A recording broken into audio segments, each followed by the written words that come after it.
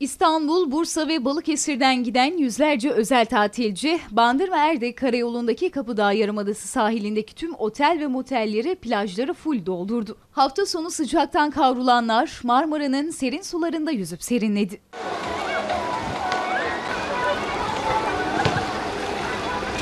Ruslar ve Almanlar da bu sezon Erdek, Avşa, Marmara Adası sahillerinde tatil yapmaya başlayınca tüm otel ve moteller yerli yabancı turistle doldu.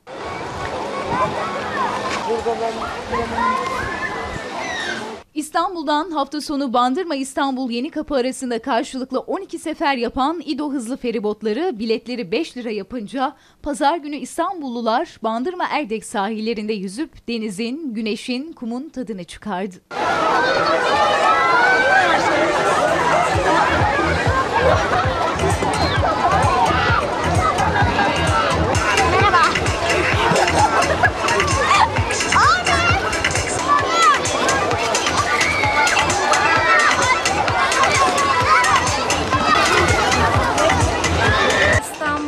Tatile geldim.